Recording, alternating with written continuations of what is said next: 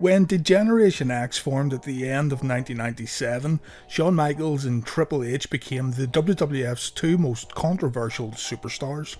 Along with the controversy came a huge amount of popularity though, and while Shawn Michaels was used to such superstardom, Triple H would be getting his first taste of true main event status. There's no denying that Triple H was initially the sidekick of Shawn Michaels. HBK was the WWF champion at the end of 1997, while Hunter was feuding with the likes of Sergeant Slaughter and Owen Hart. But still, DX was Triple H's launching pad onto bigger and better things.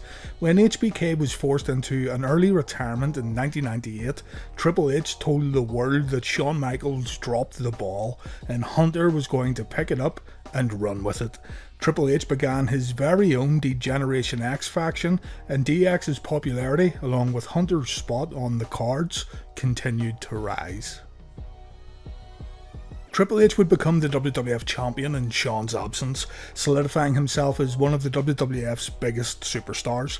Hunter was smart enough to mainly work as a heel. The babyface picture in the WWF was getting a little overcrowded with guys like Stone Cold Steve Austin and The Rock, and so Triple H focused on becoming the company's most dominant bad guy, something that fans still, to this very day, give Triple H a lot of flack for. Still, it worked. The game Triple H ruled over the WWE for quite a long period of time, and the beginning of all of this success can be pinpointed right back to the birth of Generation X. Fast forward to 2002, and Shawn Michaels returns to the WWF to join the New World Order. In reality, Shawn wasn't planning on wrestling ever again. He would be a kind of spokesperson for the NWO, adding some much needed star power to the faction after Scott Hall and Hulk Hogan had left the group. A storyline began where the NWO would try to recruit Triple H, with Shawn Michaels and Kevin Nash saying their fellow Kliq buddy belongs in the heel faction. Kevin Nash ended up getting injured, the NWO faction and storyline was scrapped, but the story of Shawn's relationship with Hunter was salvaged. At the Vengeance 2002 pay per view, Triple H had to decide if he wanted to sign with the Raw brand or the SmackDown brand, and it was Hunter's past friendship with Shawn Michaels that convinced the game to sign with Raw. So it seemed like there was a reunion of sorts going on here. Fans were pleased that Shawn and Hunter were on the same page once again, and all seemed well. An official DX reunion was booked for the July 22nd, 2002 episode of Monday Night Raw, the night after the Vengeance pay per view, but Triple H legitimately shocked everyone when he decided to pedigree Shawn Michaels in the middle of the ring. D-Generation X wasn't going to return anytime soon. The next week on Raw, Shawn Michaels spent most of the evening searching for Triple H backstage. Hunter explained in the ring that the idea was for Shawn Michaels to become the manager of Triple H, but Shawn's ego got in the way as usual. Shawn wanted to do the whole DX thing and hog Triple H's spotlight. Triple H said that Shawn's career was over, his back was too busted up, and there's no way that HBK could be Hunter's equal in 2002. During the promo, a stage manager interrupted Hunter to tell the game that Shawn had been hurt in the parking lot. Triple H runs back, and there is Shawn laid out on the floor. Triple H seems concerned, he calls for help, and what we have now is a who done it story. Who had taken out the showstopper? We wouldn't have to wait long to find out the answer. Shawn reveals the following week that a security camera caught footage of the attack, and it was Hunter who attacked the Heartbreak Kid. Triple H admitted, saying he was trying to teach Shawn a lesson and show HBK that he was weak. Shawn surprised the world when he said he'd be healed up by SummerSlam. A challenge was laid out by the Heartbreak Kid. Shawn would make his comeback in a match against Triple H at the biggest event of the summer. Fans were excited to see if Shawn could still So, the overall story told here was about the changing of time. There was once a superstar and his sidekick who pioneered a change in professional wrestling, but the superstar was forced out of action and the sidekick took over. Years later, a planned reunification was ruined due to egos, and now that old sidekick was now the megastar who wanted to teach his old friend a lesson. Triple H said that he used Shawn Michaels to get to the top the same way Shawn used him to stay at the top, and now their friendship was worthless. There was nothing for Triple H to gain from reuniting with Shawn Michaels. The spotlight just wasn't big enough for both men. Shawn wanted revenge for Triple H turning his back on their old relationship. The old lion admitted that he maybe can't perform the same way he once could, but he wasn't turning up to SummerSlam to wrestle his old friend, he was turning up for a fight.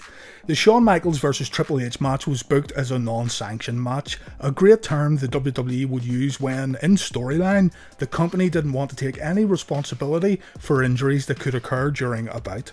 The story was great here, everything was set in place. The big question going into SummerSlam then was whether Shawn Michaels could still work, could he still be the showstopper, or, even worse, was he risking a legitimate injury by stepping back into the ring? Triple H said, he was scared, his wife was scared, and his mom was scared to death. She couldn't even speak. I said to her, I will not let anything happen to your boy. For me, that was the number one goal. Get Shawn back where he needed to be, but perfectly safe. Give him the match that he needed to have. It was a tough spot, and I put a lot of pressure on myself.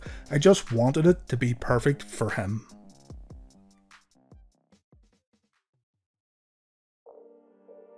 The SummerSlam 2002 match was, in a word, outstanding.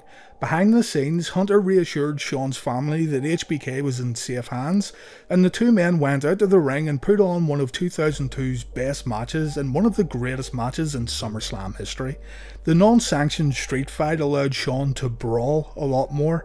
The match type suited someone who was maybe a little wary of their in ring abilities, so the Heartbreak Kid was able to look really good without having to worry too much about his actual in ring abilities.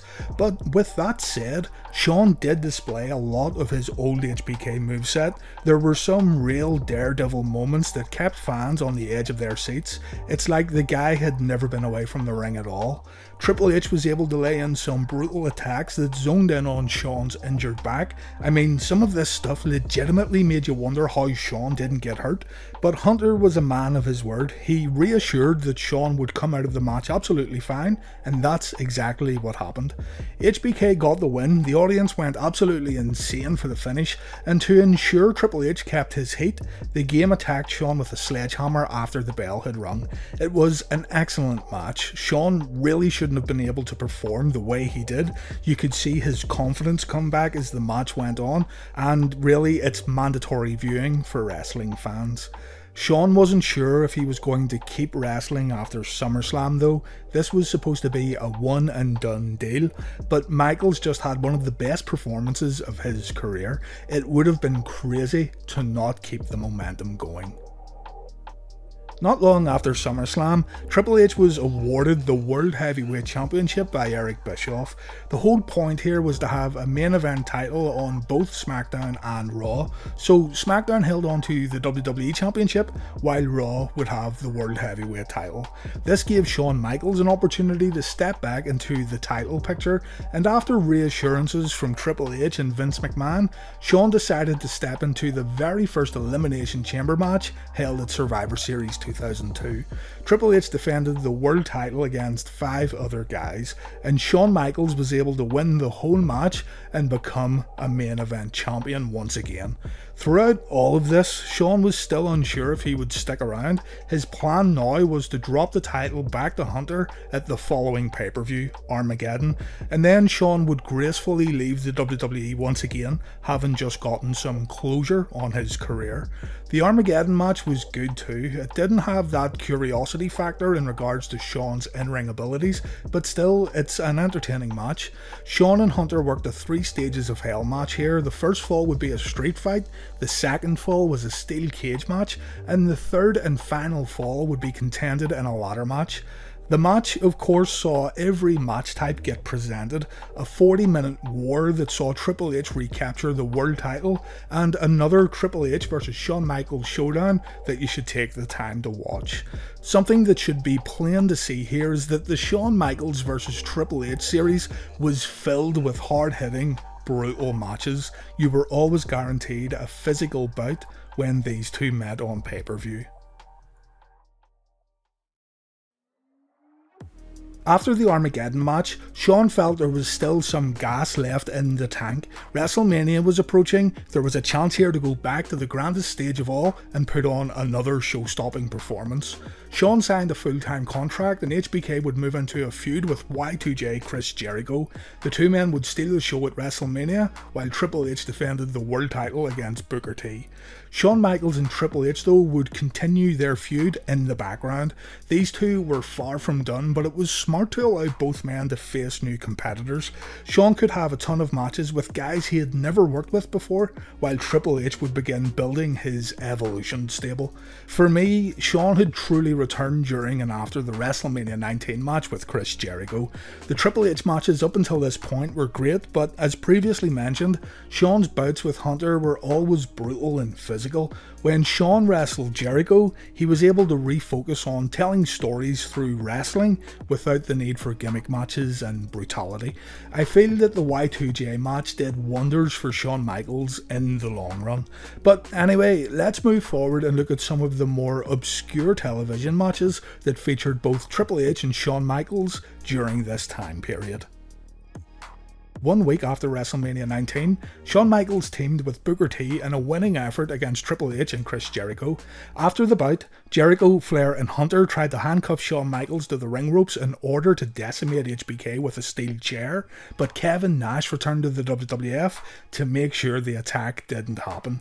The following week, Triple H would force Kevin Nash to make a choice. Big Sexy could stick with Shawn Michaels, or Nash could join Triple H to form a devastating team that would take over the WWE.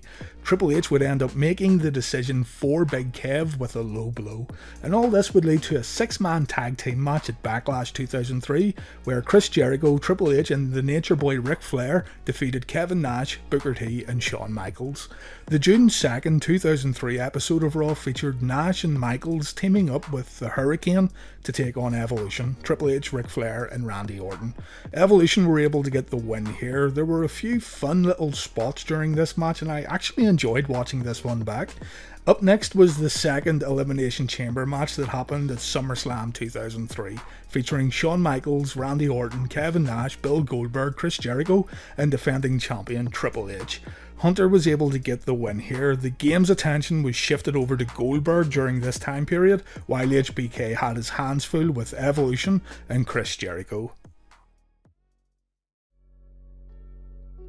The September 1st, 2003 episode of Raw featured another six man tag Hunter, Flair, and Orton taking on Shawn Michaels, Goldberg, and Maven. The babyfaces won the match, and honestly, you don't really need to see this one. The Triple H vs Shawn Michaels feud would get a little quiet for a while after this match. We would see HBK team up with Rob Van Dam to face Hunter, Flair, and Batista towards the end of the year, but things would seriously heat up on the final Raw episode of 2003. In San Antonio, Texas, Triple H defended the world title against Shawn Michaels in another excellent bout. This one has been somewhat forgotten due to it being a Raw match, but go out of your way to hunt this one down. The match goes on for around 30 minutes. There's much less of a reliance on brutality, and instead, both men go out and have a very entertaining wrestling match. The referee ends up taking a bump, which causes Raw GM Eric Bischoff to come down the ringside, and Eric ends up refereeing the match. Shawn hits the sweet chin music, falling on top of Triple H. One, two, three. Shawn's music plays in the arena, and we have ourselves a new World Heavyweight Champion.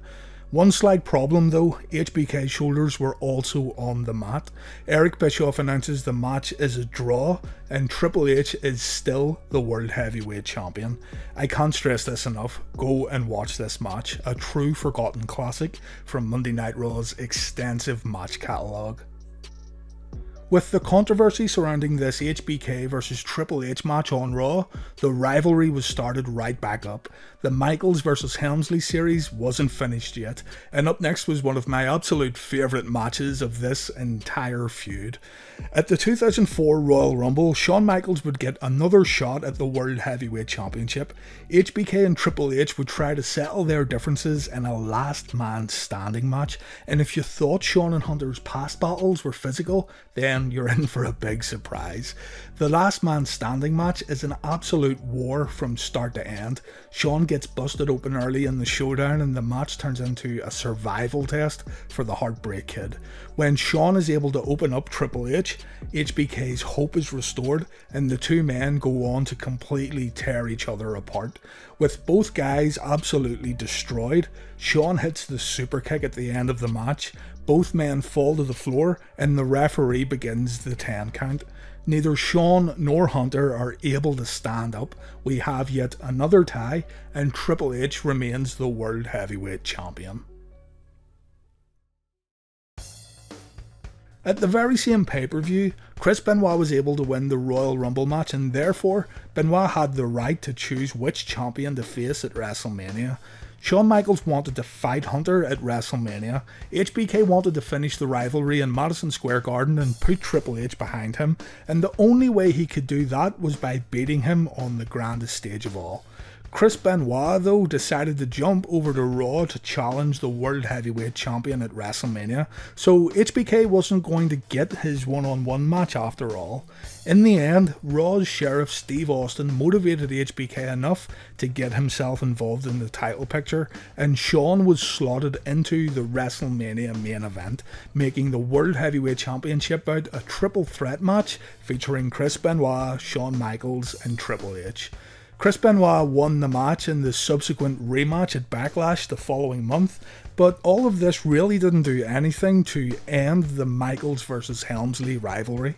Both Shawn and Hunter tried to get their hands on the World Heavyweight title, but they consistently interfered in each other's matches. It was clear as day that these two needed to settle the score once and for all, and so a Hell in a Cell match was booked for the Bad Blood pay per view held on June 13th, 2004. The Hell in a Cell match started before the end of Bad Blood's second hour, so you knew this was going to be another long match here. Maybe it was a touch too long. Now, in saying that, I still really like this Hell in a Cell match. It wasn't the best match to be held inside the steel structure, but at the same time, I really enjoyed watching these two go at it, so personally, I still get tons of enjoyment out of this main event, but I also understand why others may not like it so much. It's over 45 minutes long, and because both men knew this match should finish the rivalry, HBK and Hunter tried to put on a slow burning classic that involves a ton of selling along with a lot of comeback moments. I think both men were trying to live up to expectations in a way here, feeling they had to over deliver, and because the match went on for so long, they maybe lost some fan interest mid match. I do agree that they could have shaved around 10 minutes off the bout and it still would have been a good match. Don't quote me on this, but I'm pretty sure that the Bad Blood Hell in a Cell match here is the longest Hell in a Cell match in history. Still, I enjoyed it. Triple H gets the win with the pedigree after both men spent every last drop of energy they had to spare. They really left it all in the ring at Bad Blood 2004. If you're in the mood to settle in and watch a long match that builds and builds, then this Hell in a Cell match is still very much recommended, but you do need to be in the right mood for it. Anyway, with Hell in a Cell being used to end rivalries, this would be the end of the HBK versus Helmsley feud. Or so we thought. Around four months later, the WWE presented the very first Taboo Tuesday show, a unique pay per view where fans would vote online on match participants and stipulations.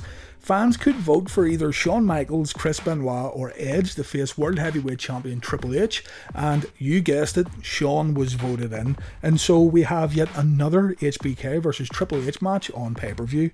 What's notable about this match is that Shawn had legitimately torn his meniscus on the Raw episode that aired the night before Taboo Tuesday, and he needed to go away and have surgery, but still, Shawn showed up at the pay per view, he was put into a World Heavyweight title match match, and Shawn still went out there struggling to walk during his entrance.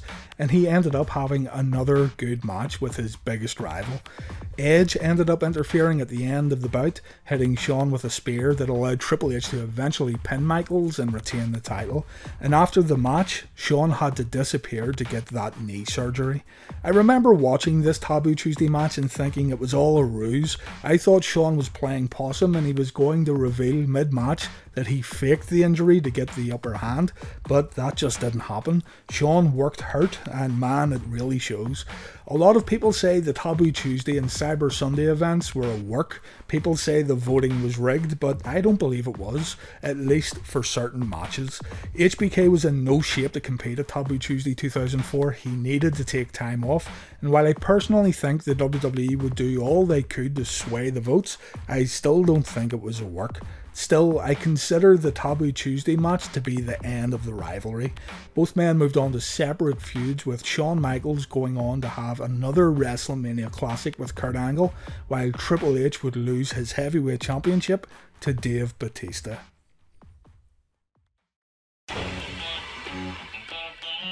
While the feud had ended with Triple H becoming the overall victor, the two men would have further one on one matches down the road.